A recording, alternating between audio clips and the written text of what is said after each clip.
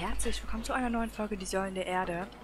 Ja, wir sind Jack auf die Schliche gekommen, beziehungsweise sind gut dabei und wir sprechen mal diesen wichtigen, dreinblickender Geselle an. Jo. Guten Tag. Seid ihr der Baumeister hier? Worum geht's? Ich suche nach einem Mann, der vielleicht hier durchgekommen ist. Ein englischer Steinmetz mit rotem Haar. Er nennt sich Jack Jackson. Ah, ein Rotschopf. Ja. Habt ihr ihn gesehen? Er hat vielleicht hier Arbeit gesucht. Ich, ich brauche keine neuen Steinmetze. Wir machen hier nur Ausbesserungen. Aber war er hier? Äh, nein, hab ihn nie gesehen. Und jetzt tretet zur Seite, Weib, bevor eurem Kind was auf den Kopf fällt.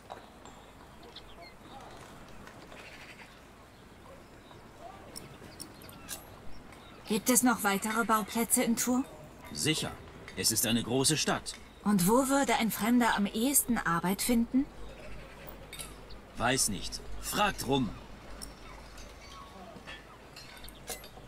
Darf ich mit euren Arbeitern reden? Nein, sie haben zu tun. Und ich kann euch versichern, sie können euch auch nicht mehr sagen. Dann spreche ich mit ihnen, sobald sie ihr Tagewerk vollendet haben. Reine Zeitverschwendung.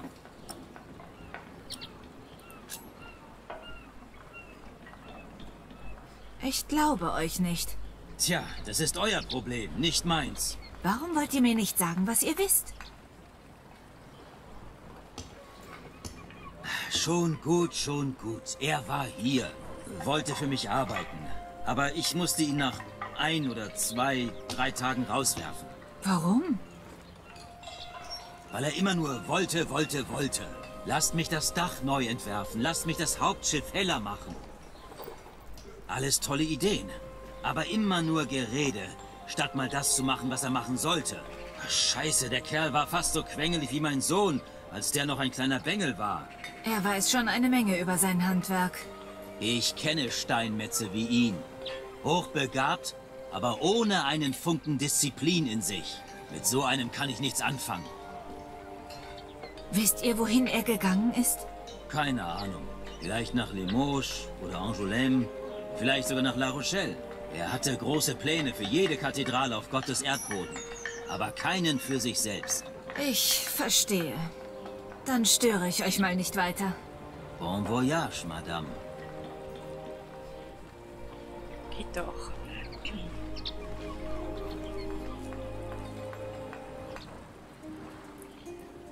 Okay, wo gehen wir als nächstes hin? Ähm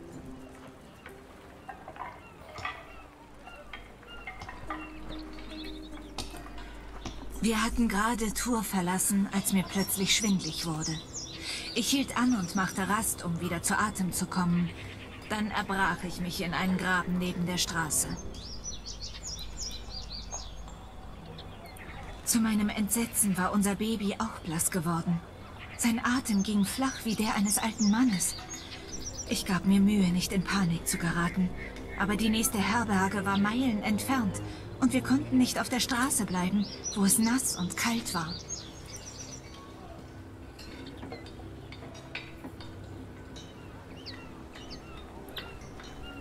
Als wir wieder in Tour waren, wurde das Fieber schlimmer. Ich erinnere mich, wie die Leute mich in einen Raum trugen und auf ein Bett legten. Ich versuchte, mein Kind zu stillen, aber an alles danach kann ich mich nicht mehr erinnern. Als ich erwachte, stand Jack neben meinem Bett. Er schimpfte mit mir, weil ich ihm gefolgt war. Weißt du, du könntest gehen, wohin du willst, flüsterte er.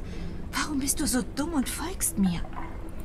Ich versuchte zu antworten, aber er öffnete das Fenster und sprang hinaus.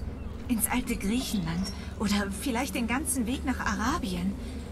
Und in meinem Fieber folgte ich ihm. Oh je.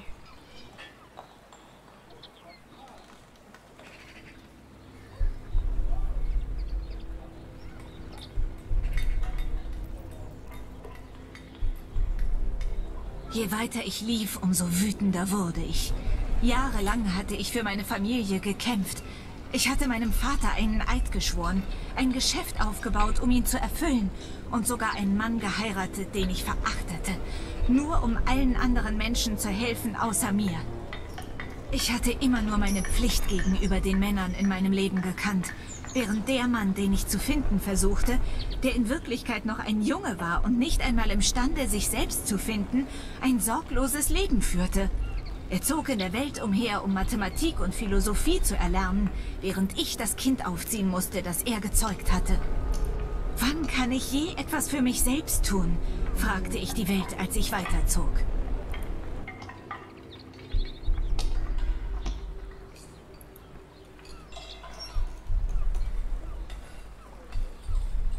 Ich war im Kreis gelaufen, den ganzen Weg bis zum Ende der Welt und zurück, nur um zum Ort unseres Scheiterns zurückzukehren.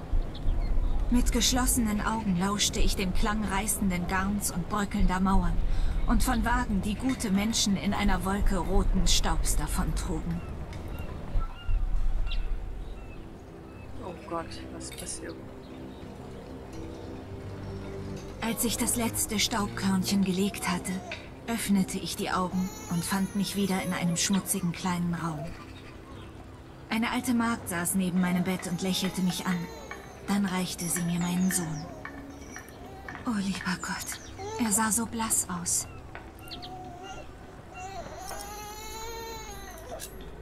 Je mehr ich ihn zu wärmen versuchte, desto kälter fühlte er sich an. Oh bitte, lieber Gott, lass ihn leben. Bestraf ihn nicht für meine Sünden. Ich streichelte zärtlich seinen Kopf, bis er schließlich das Mündchen an meine Brust legte und trank und trank immer mehr, mit jedem Schluck gieriger als zuvor. Wir waren beide verschont worden. Wir ruhten einen weiteren Tag.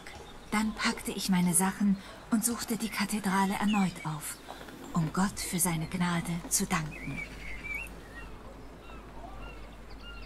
Gott sei Dank, ey.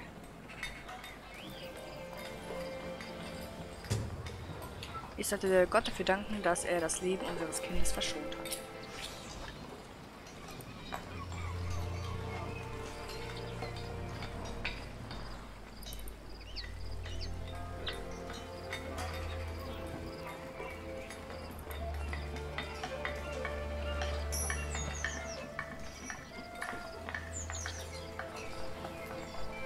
Ich danke dir, lieber Gott. Jetzt langsam Ich danke dir, hochziehen. dass du mein Kind gerettet hast. Ich danke dir für... Nicht loslassen, bevor ihr fertig seid. Aber warum erweist du mir Gnade? Ich habe alle verraten, die mir lieb waren. Ich habe Jack verraten und meinen Bruder. Und wenn ich nie zurückkehre, würde ich auch den Eid brechen, den ich Vater geschworen habe. Es ist nur... Es ist nur, dass ich das Gefühl habe, ich hatte nie ein eigenes Leben, weil ich immer nur für andere gekämpft habe. Und jetzt kämpfe ich vielleicht zum ersten Mal nur für mich selbst. Vielleicht sollte ich ja zurückgehen und helfen, Kingsbridge wieder aufzubauen. Vielleicht liegt Jack inzwischen sogar nichts mehr an mir. Amen. Sieh mal da. Das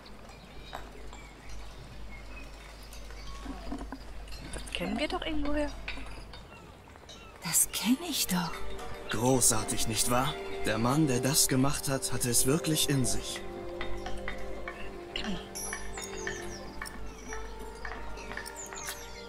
Das ist wahr. Das hatte er immer. Oh, ihr kanntet Monsieur Jacques. Ja, aber es ist eine Weile her, seit ich ihn das letzte Mal sah. Es ist eine Schande, dass der Meister ihn gehen ließ. In nur einem Monat hat er so viele Dinge vollbracht. Der Baumeister sagte, er hätte ihn nach nur drei Tagen entlassen. Ach ja? Nun, vielleicht redet er sich das selbst ein. Die beiden haben sich von Anfang an nicht verstanden. Um die Wahrheit zu sagen, alle glauben, er fürchtete um seine eigene Stellung, wenn jemand wie Jacques mit dabei war. Das Letzte, was er machte, war, diesen Kragstein zu meißeln. Es war das Einzige, was der Meister ihn machen ließ. Und als er damit fertig war, hat man ihn weggescheucht.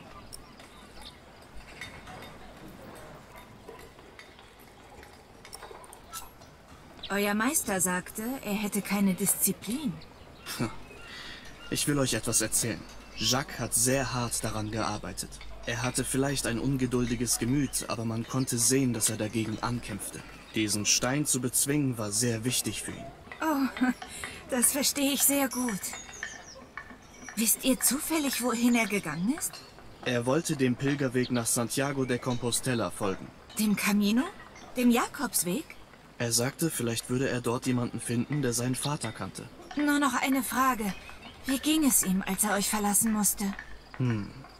Darüber habe ich nie nachgedacht. Seltsam erleichtert, würde ich meinen. Er schien bereit für etwas Neues zu sein. Ich danke euch vielmals für eure Hilfe. Gern geschehen. Und viel Glück auf eurer Reise. Ich hoffe, ihr findet, wonach ihr sucht. Uh, danke für den Tipp. An einem fernen Ort. Ist es nicht seltsam? Immer wenn man aufhört zu suchen, trifft man auf die merkwürdigsten Dinge. Wie diese drei Maschinen, die einer meiner Händler aus Bagdad hergebracht hat. Oh nein, ist das wieder eines von deinen Banu Musa-Spielzeugen, Rashid? Das sind keine Spielzeuge, Adriel, sondern Objekte wissenschaftlichen Erfindergeists. Mein geschätzter Freund aus dem Norden soll es erklären.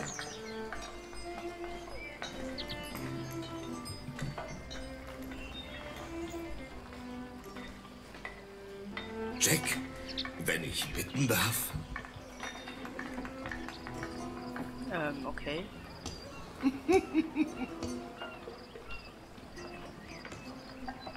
Als erstes möchte ich eure Aufmerksamkeit auf diesen prächtigen Singvogel auf dem Tisch lenken. Und dann auf den wundersamen Esel neben dem Eingang. Hm, wenn ich so darüber nachdenke, warum bewahrst du dir die Lady nicht bis zum Schluss auf? Sonst könnten die anderen beiden Geräte im Vergleich blass und simpel erscheinen.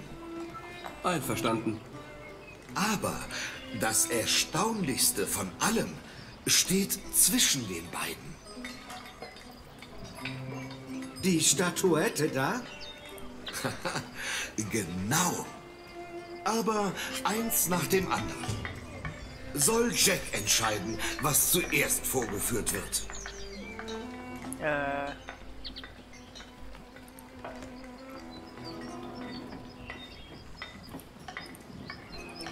Denn?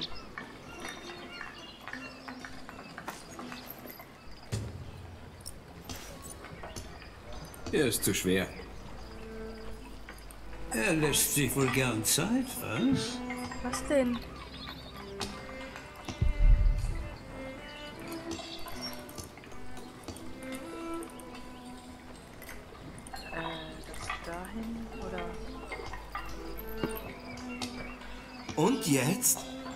Jetzt müssen wir etwas Wasser hinzugeben. so.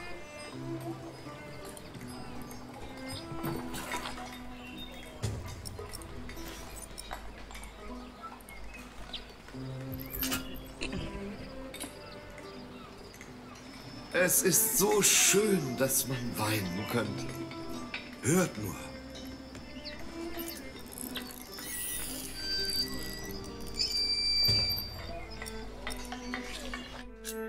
Die Banu Musa. Die Banu Musa-Brüder sind drei Gelehrte persischer Herkunft, die im Bagdad des 19., äh, 9. Jahrhunderts gelebt haben. Sie sind bekannt für das Kitab al-Hiyal, eine große illustrierte Sammlung mechanischer Geräte und Automaten. Diese Automaten wurden größtenteils zur Unterhaltung entworfen, aber beinhalten innovativste Technik. Die Brüder haben ebenfalls Bücher über Astronomie, Astrologie und Geometrie geschrieben, wobei letzteres einen Ein- Einfluss in der islamischen und europäischen Mathematik hatte. Ist das nicht schön? Wie funktioniert es? Vielleicht ist es ein Wunder. Genau. Sag du es ihnen, Jack. Äh, erkläre es. Im Innern ist ein Rad versteckt. Es dreht eine Achse. Und die wiederum hebt und senkt eine Folge von kleinen, verborgenen Zylindern. Diese Zylinder bewegen sich wie Finger auf einer Flöte. Aber wer bläst die Flöte? Dampf. Dampf? Ja, aber erst nachdem ich die Verbindung zwischen Kessel und Rohr geöffnet habe. Die Kraft des Dampfes. Ausnahmsweise muss ich beipflichten. Das ist brillant. Natürlich. Natürlich. Es wurde schließlich von einem Moslem geschaffen. Lasst uns nicht vorschnell sein. Was hast du noch, Rashid? Möchte noch jemand etwas Tee? Danke, Tochter.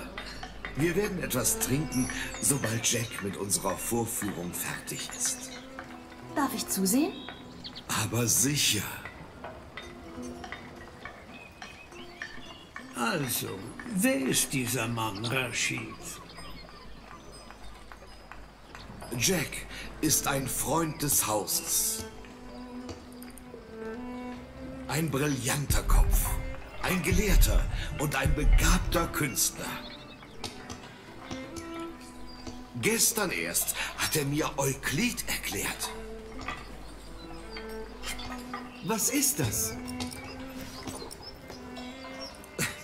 Ein Grieche, der ein Buch namens Die Elemente der Geometrie geschrieben hat. Ich könnte dem Mann den ganzen Tag dabei zusehen. Hat aber lange gedauert. Die Ägypter haben es ins Arabische übersetzt und die Engländer übersetzen es jetzt in Latein.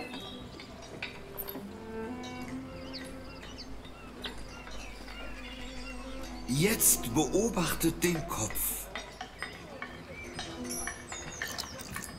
Nur noch einen Moment. Da. Habt ihr gesehen? Er hat gekotzt. Rashid, das ist widerlich. Ach, mitnichten. Könntest du bitte erklären, wie es funktioniert, Jack? Seht ihr die Schale, die auf dem Wasser schwimmt? Im Boden der Schale ist ein kleines Loch. Dadurch füllt sich die Schale langsam mit Wasser. Sobald sie voll ist, sinkt sie auf den Boden und zieht an einem Faden, der den Ball auf ein Gewicht fallen lässt. Dieses wiederum zieht die Schale wieder hoch und leert sie dabei. Und so den ganzen Mechanismus neu aufzieht. Wenn man das Ganze perfekt abstimmt, könnte man ihn jede Stunde einen Ball fallen lassen. Und dann hätte man eine Uhr. Gute Idee. Für mich ist es trotzdem bloß ein kotzender Esel. Zeig uns mehr, Rashid. Man könnte die beiden verbinden und eine singende Eselsuhr bauen. Ein Lied nach jeder Stunde. Eine reizvolle Idee. Nicht wahr? Du könntest so etwas sicher konstruieren. Das wäre unfair. Es ist deine Erfindung. Ich würde sie dir überlassen. Oder wir könnten sie zusammen entwickeln? Du hast uns immer noch nicht diese Statuette gezeigt. Stimmt. Jack, wenn ich bitten darf. Äh, einfaches mit Auge aus Stein, ohne einen erkennbaren Mechanismus. Niemand weiß, wie sie funktioniert. Oh, das wird euch gefallen. Schaut nur. Ich muss sie an einen kühlen Ort stellen.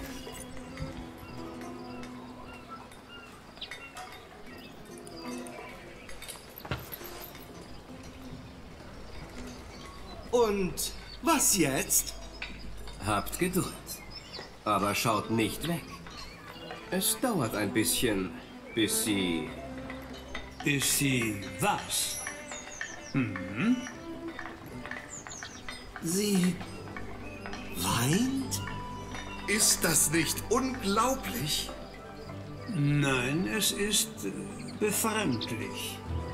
Rashid, was geht hier vor?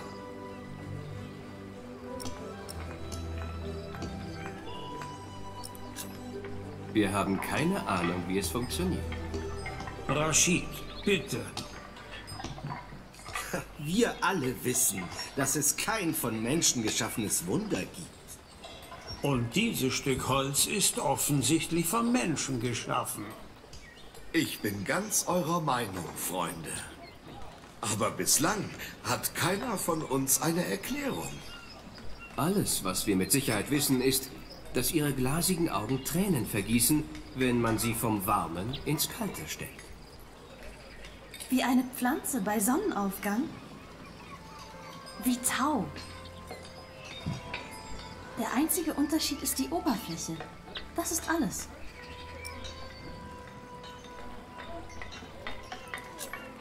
Sie hat recht. Natürlich wollte ich euer Gespräch nicht unterbrechen. Aber wenn sich erklären lässt, warum sich Tau auf einer Pflanze sammelt, kann man daraus erschließen, warum die Frau weint. So, wer möchte denn jetzt eine Tasse Tee? Ich gerne. Deine Tochter ist ganz schön klug, Rashid. Eine wahre Gelehrte. Ich weiß. Manchmal wünschte ich, es wäre nicht so. Das würde es einfacher machen, sie zu verheiraten. Oh, ich bin sicher, das Problem wird sich auch bald lösen. Vielleicht entsteht der Tau aus unsichtbarem Wasser in der Luft.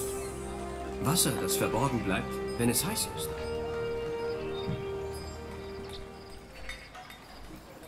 Auf dem Jakobsweg.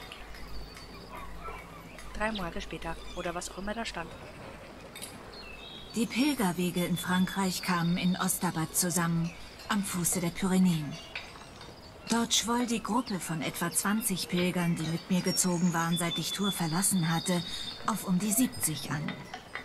Einige waren betuchte Bürger, andere wahrscheinlich auf der Flucht vor dem Gesetz, ein paar Trunkenbolde und mehrere Mönche und Geistliche. Überall waren die verschiedensten Sprachen zu hören, darunter Flämisch, ein deutscher Dialekt und eine südfranzösische Sprache namens Ock. Dennoch verstanden sich alle gut. Und als wir die Pyrenäen überquerten, sangen sie, spielten Spiele, erzählten Geschichten und einige hatten sogar Liebesbeziehungen.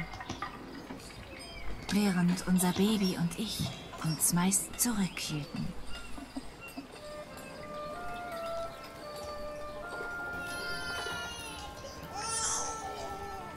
Ganz schön frech, die mit ihrem Kind.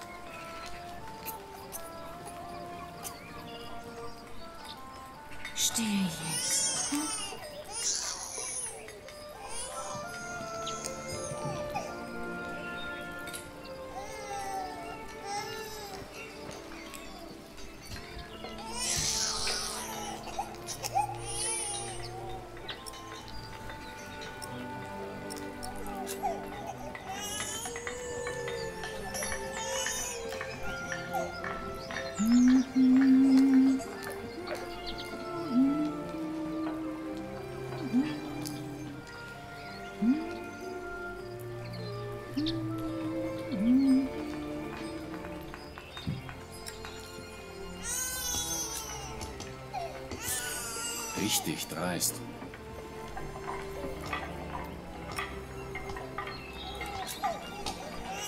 Kann ein Mann nicht einfach mal seine Ruhe haben? Der Weg aus Babenberg war doch anstrengend genug.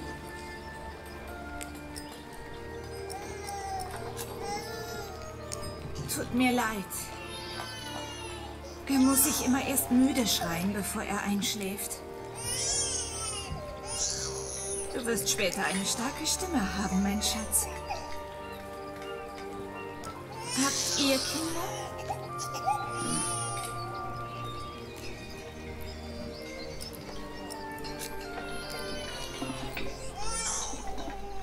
So, wir latschen jetzt ein bisschen rum, aber ich würde Kind sagen, das machen wir erst verloren. in der nächsten Stimmt Folge. doch, oder? Äh, ich bedanke mich fürs Zuschauen. Jetzt ist aber gut. Folge.